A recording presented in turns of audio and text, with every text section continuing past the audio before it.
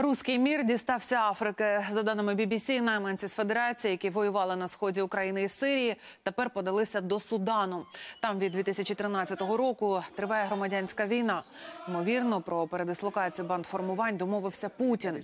23 листопада президент Росії проводив переговори з лідером Судану Омаром Аль-Баширом, якого розшукує міжнародний кримінальний суд. Президент африканської країни звинувачують у геноциді і злочинах проти людяності.